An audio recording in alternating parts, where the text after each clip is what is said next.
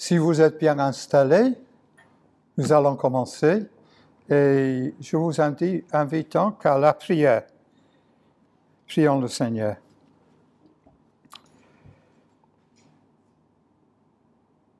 Seigneur notre Dieu, nous sommes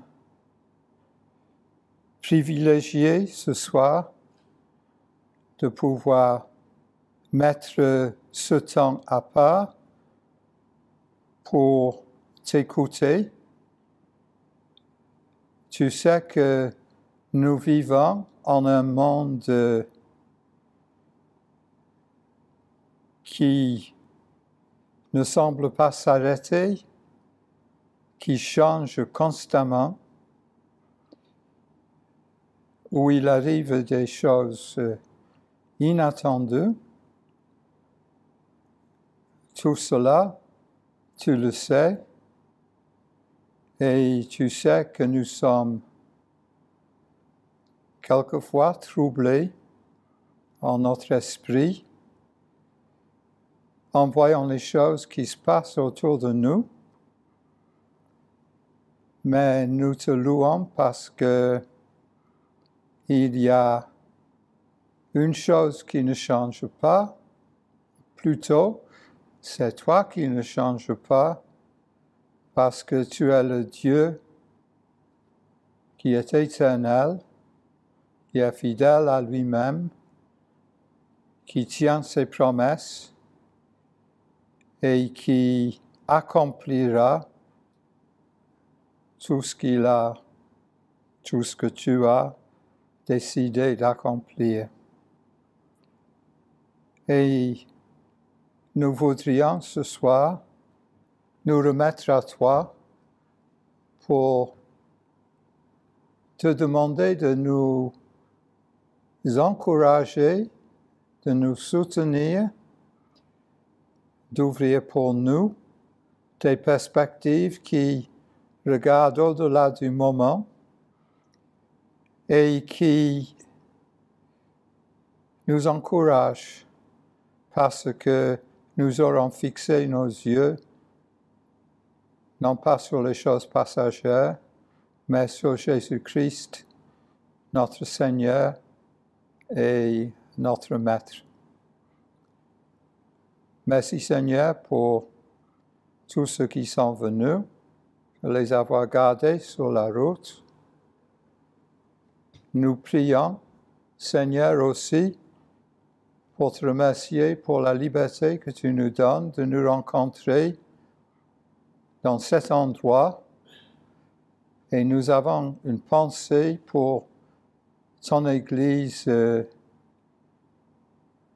ailleurs dans le monde où les croyants sont oppressés, où ils passent par des tribulations. Et des choses qui sont difficiles à supporter, mais dans ta providence, à travers ces choses, tu fais sortir, tu fais lever un grand peuple pour, louange, pour ta louange. Et ainsi, nous voulons, en cet endroit ce soir, prier pour sous les croyants en Chine, afin que l'Évangile puisse euh, s'y enraciner de plus en plus. Et Seigneur, nous prions pour les croyants persécutés en d'autres pays où il n'y a pas de liberté. Partout où nous regardons, euh, dans les pays en voie de développement. Pensons non seulement aux pays islamiques, mais aussi aux pays comme Nigeria. Nous voyons son peuple opprimé. Seigneur, aie pitié de notre monde. Aie pitié de ton peuple. Viens le secourir et viens lui donner la grâce qui est nécessaire pour que la, souffrance et l'épreuve puissent être vécues avec euh, la joie, comme nous dit l'apôtre Pierre, euh, et aussi avec la persévérance, comme l'Écriture nous y exhorte. Sois donc maintenant avec nous au moment où nous tournons euh, vers toi pour écouter ta parole. Nous te demandons de non seulement ouvrir nos intelligences euh, et d'ouvrir nos yeux, mais d'ouvrir nos cœurs pour recevoir euh, ce que tu veux nous enseigner ce soir euh, de ta parole. Seigneur, que ton nom soit glorifié et que ton règne vienne. Et nous le prions au nom de notre Seigneur Jésus-Christ. Amen. Alors, euh, tout d'abord, merci de cette invitation d'être parmi vous euh, ce soir. Euh, si vous n'aviez pas m'invité à intervenir, je n'aurais pas été là. Hein. Donc, c'est pour moi un privilège d'être ici et peut-être que ce contact pourrait même m'inspirer à revenir l'année prochaine, non pas pour intervenir, mais pour rester en communion euh, avec vous. Alors j'ai un peu réfléchi, hein, comme il se doit, aux choses que je vais vous dire euh, ce soir, et, et vous trouverez ce texte un peu étonnant, parce que c'est un texte non seulement qui est bien connu, mais aussi euh, on a l'habitude d'entendre euh, ce genre de texte euh, le dimanche de Pâques ou la semaine suivante. Hmm? parce qu'on dit que c'est un texte sur la résurrection de Jésus. Et c'est vrai, d'un certain sens. Mais est-ce que c'est tout que ce texte nous dit? Et ici, euh, ce que je voudrais vous présenter pendant un peu de temps, c'est le fait que dans ce texte, nous avons l'apparition de Jésus-Christ comme l'homme nouveau. Et ainsi, ce texte cadre très bien avec le thème de l'homme, parce que nous ne voulons pas parler de l'homme actuel uniquement ou du péché de l'homme, le premier Adam, mais euh, on ne peut pas oublier le deuxième Adam qui nous introduit euh, dans la nouvelle création parce qu'il est l'homme nouveau.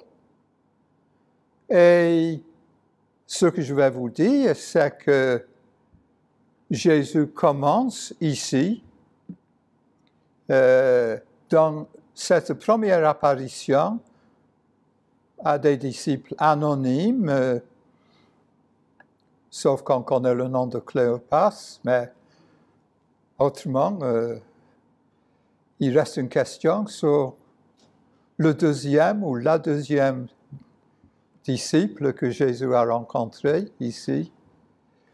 Et Ici, Jésus est en train de poser les fondements de la nouvelle création, du, renouvellement de l'être humain. Et c'est cela que nous allons voir. Euh, comment Jésus pose des fondements pour établir une nouvelle création avec une nouvelle humanité euh, qui euh, annonce le salut de la race humaine. Et donc, euh, je vous invite à euh, écouter la lecture de Luc chapitre 23, euh, pardon, 24, Luc chapitre 24, euh, à partir du verset 13 euh, et pas jusqu'à la fin du chapitre, mais jusqu'au verset 35. Donc, Luc 24, verset 13. Et voici que ce même jour, deux d'entre eux allaient à un village nommé Emmaüs, éloigné de, Jérusalem de 60 stades. Ils s'entretenaient de tout ce qui s'était passé. Pendant qu'ils s'entretenaient et discutaient, Jésus s'approcha et fit route avec eux. Mais leurs yeux étaient empêchés de le reconnaître. Il a dit, Quels sont ces propos? Que vous échangez en marchant? Et ils s'arrêtèrent, l'air attristés. L'un d'eux, nommé Cléopas, lui répondit, Es-tu le seul qui séjourne à Jérusalem et ne sache pas ce qui s'y est produit ces jours-ci? Quoi? leur dit-il. Ils lui répondirent, ce qui s'est produit au sujet de Jésus de Nazareth, qui était un prophète puissant en œuvre et en parole devant Dieu et devant tout le peuple et comment nos principaux sacrificateurs et nos chefs l'ont livré pour être condamné à mort et l'ont crucifié. Nous espérions que ce serait lui qui délivrerait Israël, mais avec tout cela, voici le troisième jour que ces événements se sont produits. Il est vrai que quelques femmes d'entre nous nous ont fort étonnés.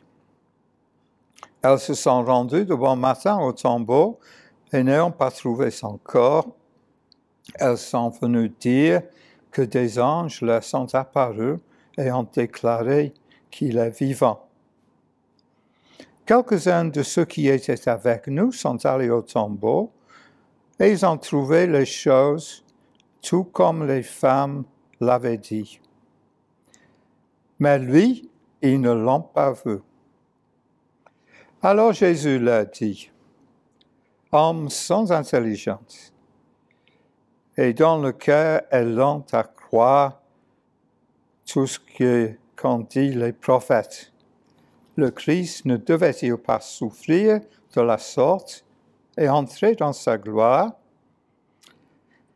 Et commençant par Moïse et par tous les prophètes, il leur expliqua dans toutes les Écritures ce qui le concernait. Lorsqu'ils furent près du village où ils allaient, il parut vouloir aller plus loin, mais ils le pressèrent en disant, Reste avec nous, car le soir approche. Le jour est déjà sur son déclin. Il entra pour rester avec eux.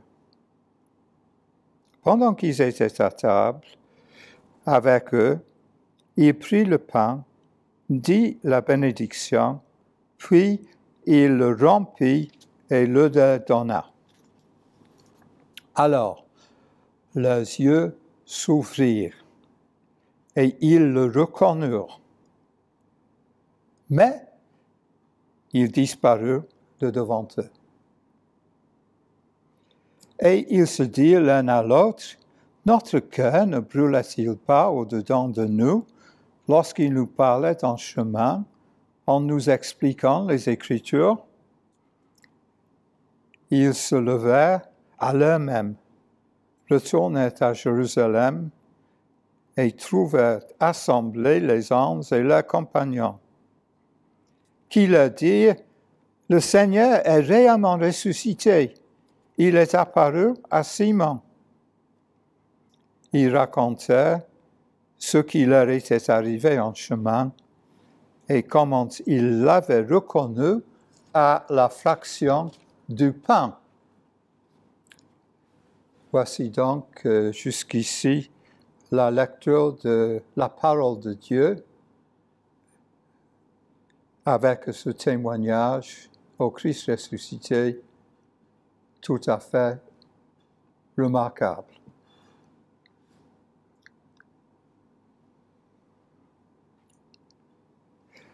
Alors, ils sont deux sur la route. Le jour décline, le soir tombe. Et il y a un étranger, un inconnu, qui s'approche et qui les rejoint.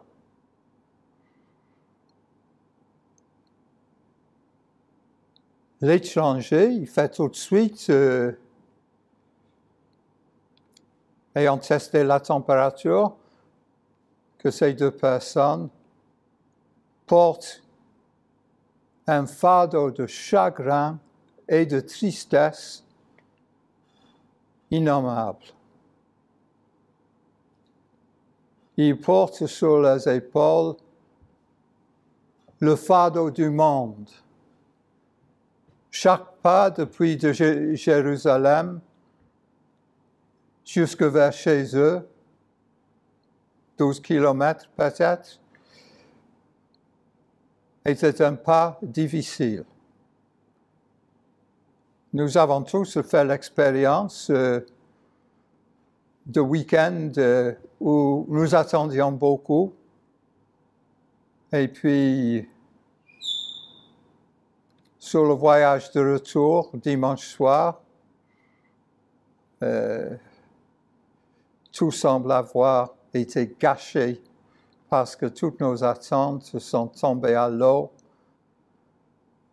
Et nous vivons une réelle souffrance. Les enfants pleurent derrière dans la voiture. Vous êtes agacé avec votre épouse. La voiture tombe en panne peut-être. Peut-être il y a des agriculteurs. Hein? Mais euh, vous voyez, euh, c'est une grande tristesse. Et nous voyons ici euh, deux personnes dont toutes les espérances ont été brisées, qui étaient dans une très grande incertitude par rapport à ce qui s'était passé. Hmm? Ce Jésus, un prophète reconnu par beaucoup, a annoncé des choses et c'est maintenant le troisième jour et cela semble être tomber à l'eau. Et donc, euh, toutes les espérances pour l'avenir d'Israël euh, tombent à l'eau aussi. Hein? Euh, et ils se demandent s'ils ont vécu un mauvais rêve. Hein? et ils ne peuvent pas se défaire de cette tristesse. tellement que peut-être euh, ne plaît-il pas aussi à propos de ce qui s'est passé. Et donc, euh, la nuit tombe et ils ont encore trois ou quatre kilomètres à faire, peut-être cinq. L'étranger s'approche d'eux et leur adresse la parole. Qu'est-ce qui se passe? Qu'est-ce que vous avez? Et alors, euh, ceci est tout à fait typique d'autres situations où tout semble être perdu, mais où Dieu intervient de façon inattendue pour restaurer l'espérance.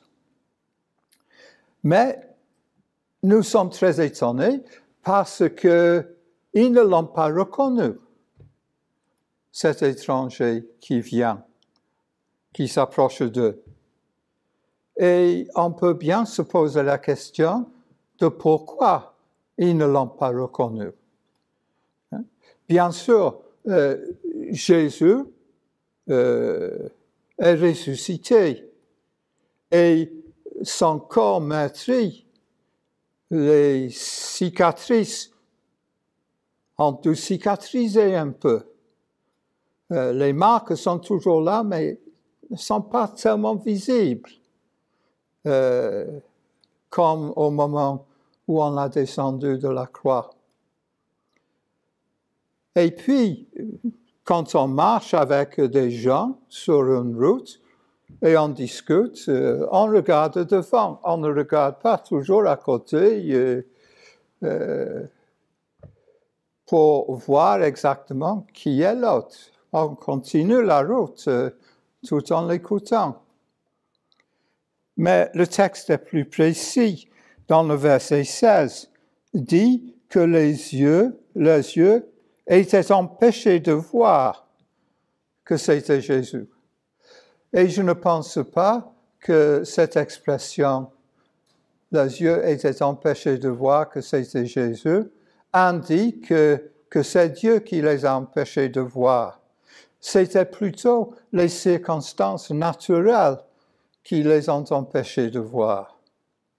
Et en premier lieu, ils ne s'attendaient pas du tout à trouver Jésus ressuscité sur cette route-là. C'était une chose à laquelle ils ne s'attendaient pas du tout. Et donc, euh, leur expectation euh, euh, étant tout à fait absente, ils n'ont pas scruté l'étranger pour voir qui c'était. Et donc, ils ne l'ont pas reconnu Jésus. Il y a peut-être une autre raison par rapport à la, la situation. C'est que Jésus est sans doute euh, bien enveloppé par une longue robe, peut-être avec quelque chose comme un hoodie, et puis euh, ses mains peut-être euh, disparaissaient dans la robe, et donc il ne pouvait pas discerner que c'était Jésus à cause de sa façon d'être habillé qui euh, recouvrait bien euh, ses blessures cicatrisées. Mais il y a une dernière raison euh, qui est assez convaincante pour moi. J'avais un ami allemand, un grand archéologue qui travaillait à l'Université de Jérusalem et à Tel Aviv, euh, Peter Tiede, malheureusement décédé assez jeune, et il était fasciné par ce récit. Et il a cherché à comprendre euh, ce récit et pourquoi les disciples euh, n'ont pas reconnu Jésus. Et il a la même date qu'il a calculée et la même heure, refait la marche de Jérusalem à Emmaüs. Et il m'a raconté que en s'approchant d'Emmaüs, on a devant soi, en pleine figure, le soleil couchant, qui est tout à fait éblouissant à cette époque de l'année, parce que c'est toujours assez bas dans le ciel. Et donc, euh, étant ébloui, étant triste, ne s'y attendant à rien, et peut-être avec les larmes aux yeux, euh, la vision de ces deux sur la route était perturbée. Mais c'est à ce moment-là que Jésus intervient euh, au milieu de la tristesse. Et il intervient de façon remarquable. Et je pense que la démarche de Jésus ici euh, nous apporte quelque chose bien au-delà euh, du simple fait qu'il est ressuscité. Ça, c'est vrai, gloire à Dieu. Mais euh, il y a tout le reste que Jésus apporte avec lui quand il rencontre ces deux sur la route d'Emmaüs.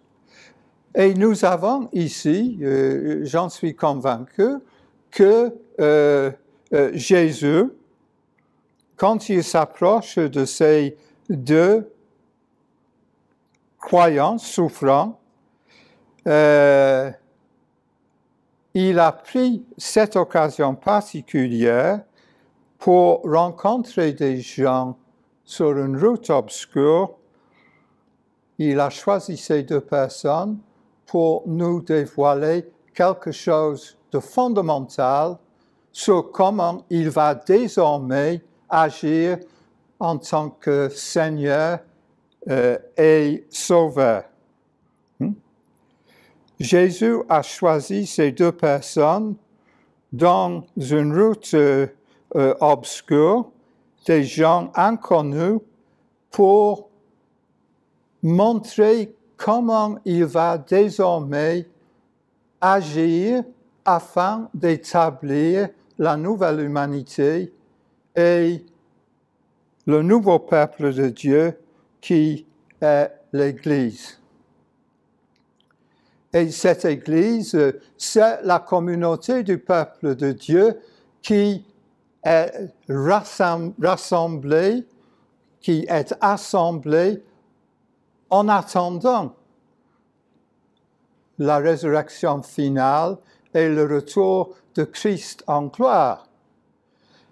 Et Jésus pose ici les conditions de l'intérim qui font que nous sommes déjà des êtres humains renouvelés en Christ et nous, nous attendons en lui l'espérance du renouveau final de la nouvelle création euh, où toutes choses seront faites nouvelles.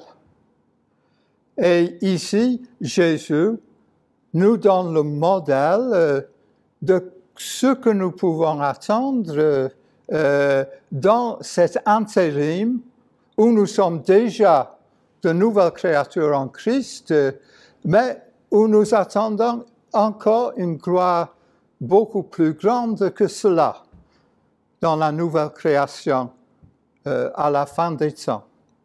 Et ici, Jésus pose les conditions de son action à lui dans cette période intérim qui va aboutir dans la recréation du monde, dans ce voici je fais toutes choses nouvelles. C'est dans cette perspective que Jésus agit et intervient. Et nous allons retenir de ce passage ce soir euh, quatre points qui montre comment Jésus euh, va agir euh, pour fonder sa nouvelle création et la nouvelle humanité.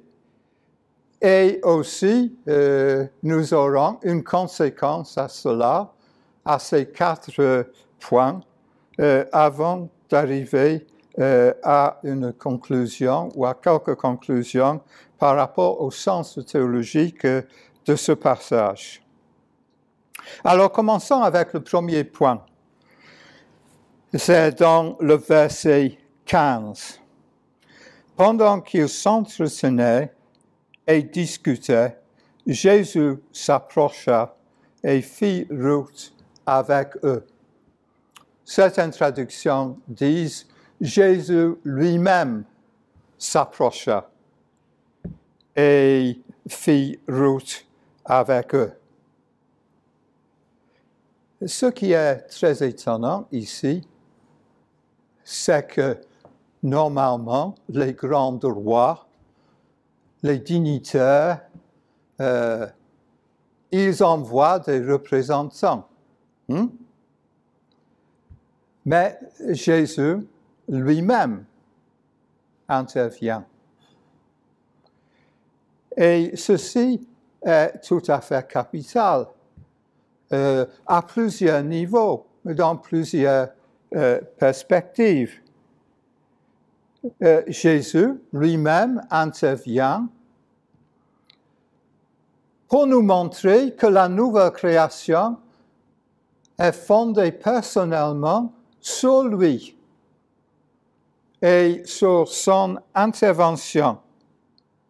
Et tout au long de cette période d'intérim, Jésus fait route avec son peuple. Il s'approche de nous personnellement. Et ceci euh, brise et renverse le modèle euh, de la religion euh, que nous avons jusqu'ici dans l'Ancien Testament. Ce n'est plus par une nation que Dieu va communiquer avec le monde.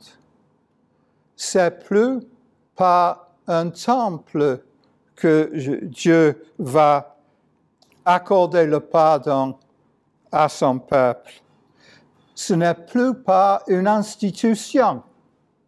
Et c'est pour cette raison même que nos pères, nos ancêtres protestants ont refusé l'institutionnalisation de la grâce euh, dans une église qui euh, était soi-disant le représentant de Jésus.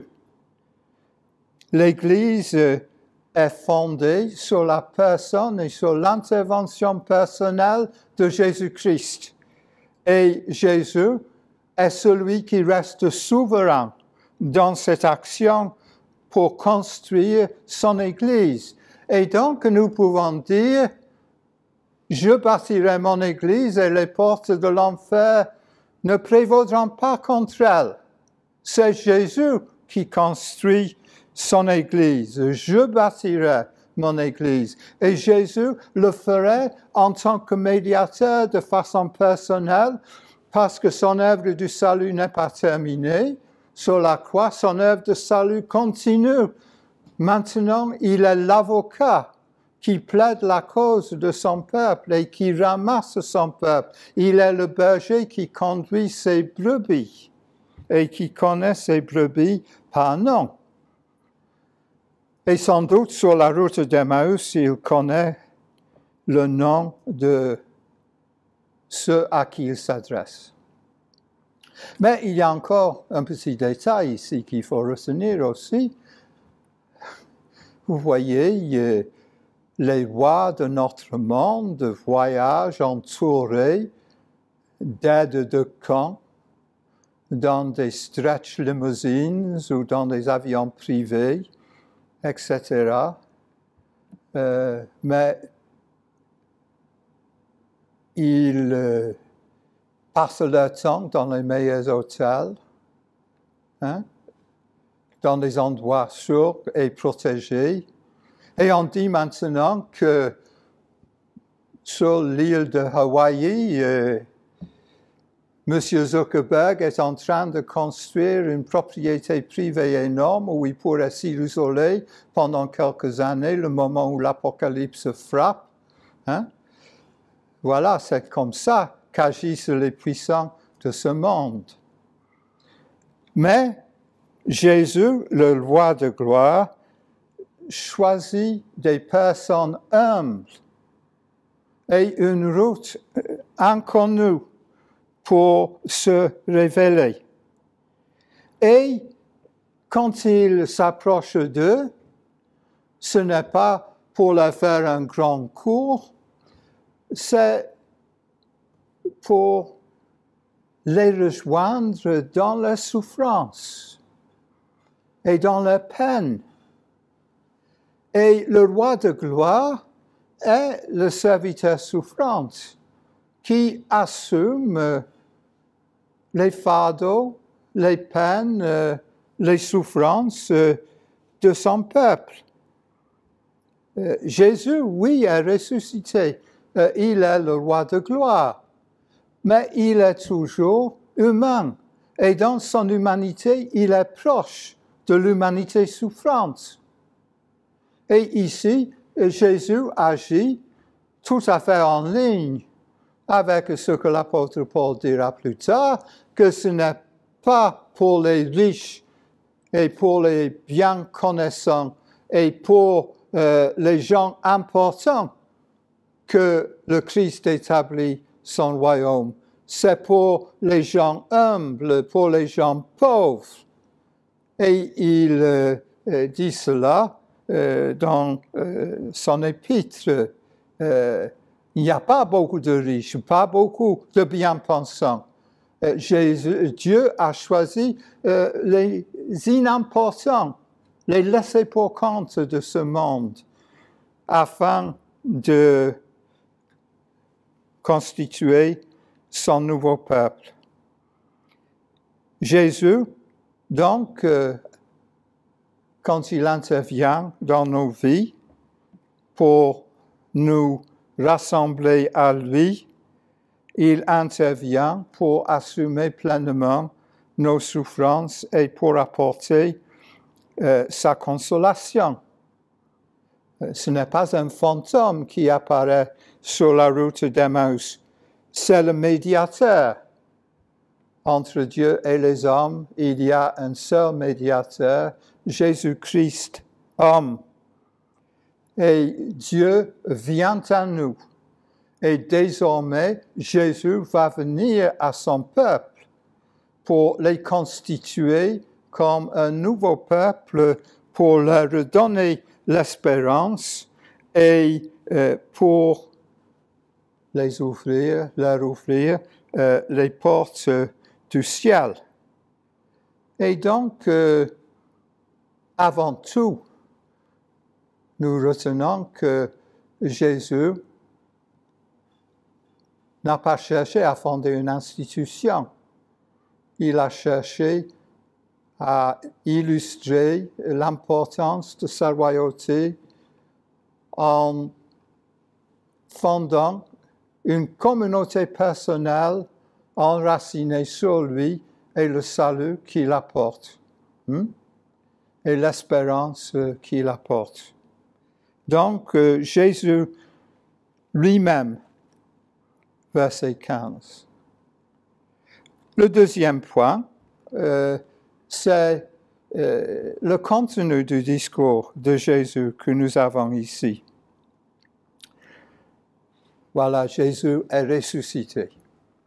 Nous pourrions nous y attendre euh, à ce que Jésus euh, apporte un message inédit et un message, euh, voilà, plus court euh, que ce qu'il dit ici. Hein? Euh, il est le ressuscité. Pourrait s'y attendre que Jésus s'approche d'eux et, leur dise, me voici, je suis ressuscité. Ne pleurez plus. Hein?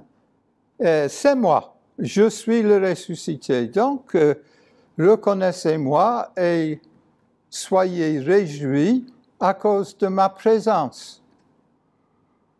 Mais Jésus n'agit pas euh, de cette façon-là. Euh, Jésus agit euh, tout autrement. il ne leur apporte pas une révélation nouvelle ici, autre que la révélation de sa personne, mais cette révélation de sa personne est soutenue par les Écritures de l'Ancien Testament. Verset 27. Euh, hein? Il est sur le chemin avec eux, quelques kilomètres à faire encore, et commençant par Moïse et par tous les prophètes, il leur expliqua dans toutes les Écritures ce qui le concernait. Et donc, euh, nous avons ici quelque chose euh, de tout à fait fondamental. Euh, dans la Sainte Écriture, c'est Dieu qui révèle Dieu. Et c'est pour cette raison que Jésus illustre comment tout ce qui est écrit dans l'Ancien Testament euh, le concerne.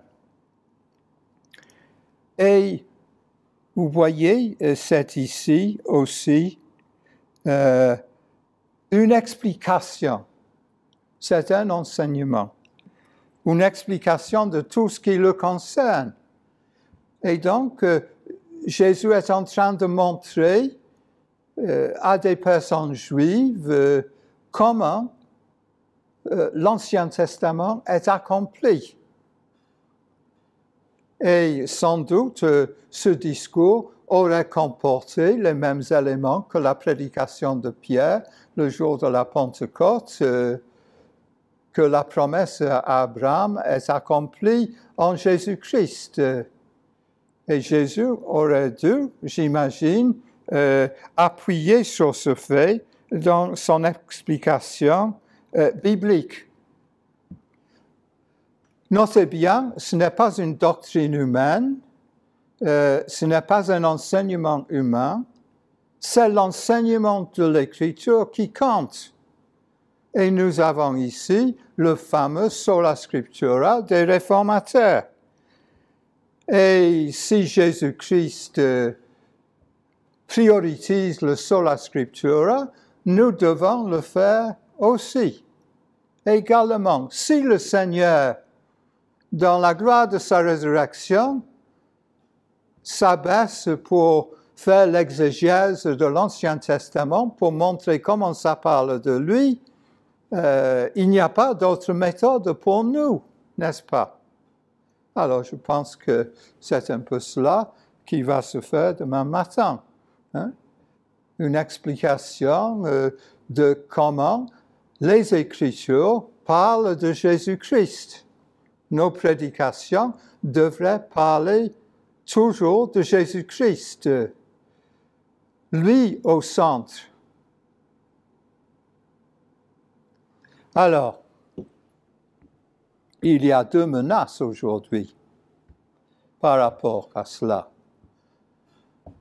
Je parlais avec euh, un vieux pasteur qui a fait beaucoup d'évangélisation pendant des années en Grande-Bretagne, qui a eu un ministère béni, qui a écrit des livres. Si je vous disais son nom, vous le reconnaîtriez sans doute. Et il m'a dit, les jeunes aujourd'hui ont perdu confiance en la prédication. Hmm? C'est son expérience en formant hein, des jeunes. Hein? Pourquoi? Parce que, oui, il faut vivre dans son temps, c'est vrai. Et l'image est très importante. Mais les images qu'il nous faut présenter, ce sont les images qui sont présentées dans la révélation biblique. Hmm? Et donc, euh, la prédication doit rester centrale pour nous. Dieu n'a pas donné des concerts rock. Hein? Dieu n'a pas même donné des colonies de vacances chrétiennes pour fonder sa nouvelle création. Il a donné l'Ancien Testament.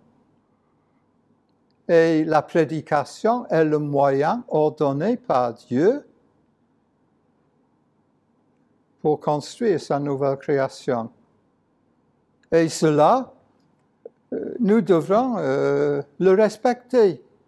Il faut mettre notre confiance en la parole de Dieu. Et comme Luther disait, l'Esprit fera le reste. Hein?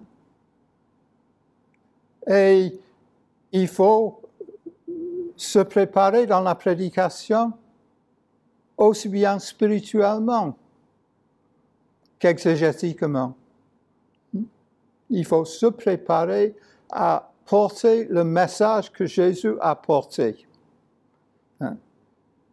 Et la prédication euh, retrouve sa puissance euh, parce que Dieu bénit sa parole parce qu'il a promis de le faire. Je suis en train de lire un livre sur George Whitfield.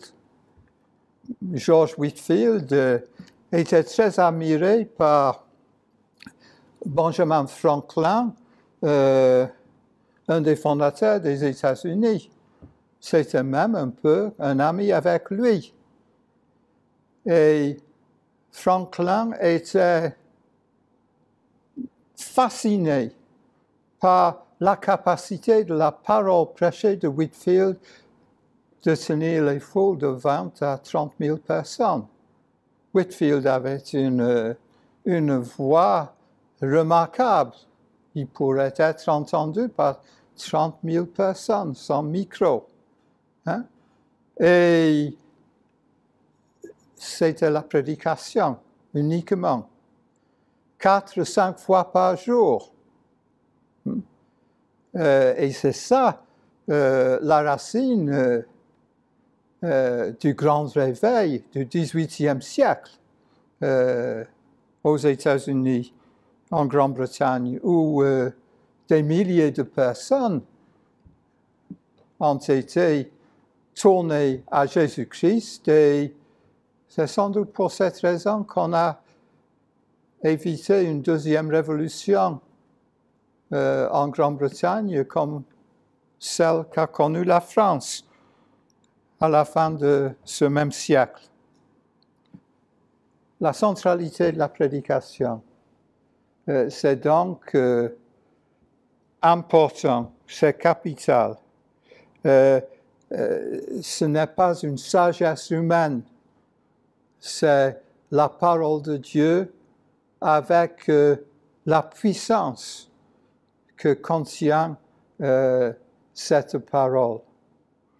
Et donc, euh, il y a ici un modèle que Jésus nous laisse, un modèle biblique qui restera jusqu'à la fin euh, de notre époque, hein, l'époque euh, de l'Évangile. Et ceci euh, doit rester central pour nous. C'est donc en la parole que nous pouvons avoir confiance parce que c'est la vérité de Dieu et Jésus se sert de cette parole pour parler de lui-même ici, parce qu'il est le centre de euh, l'écriture. Donc, euh, l'explication, l'enseignement de la parole de Dieu est euh, nécessaire. Il y a ici, dans le verset 46, un peu plus loin, une répétition euh, de ceci quand Jésus euh, se présente euh, aux 11, verset 46, Jésus l'a dit, Ainsi il est écrit que le Christ souffrirait, qu'il ressusciterait d'entre les morts le troisième jour, et que la repentance en vue du pardon des péchés serait prêchée en son nom à toutes les nations, à commencer par Jérusalem. Vous êtes euh, ses témoins. Voici le contenu du message. Il est écrit que Christ souffrirait et qu'il ressusciterait d'entre les morts le troisième jour le sacrifice de Jésus-Christ qui accomplit les Écritures, livré pour nos offenses, pour nos péchés, ressuscité pour notre justification. C'est le message de la justification unique euh, en Jésus-Christ, sa mort et sa résurrection. Et le message de l'Évangile qui vient avec la puissance de Dieu, c'est que personne n'entre au ciel dans la nouvelle création sans passer par la mort et la résurrection à une nouvelle vie en suivant le modèle du Maître. Alors nous sommes appelés à mourir à nous-mêmes et à être ressuscités ensemble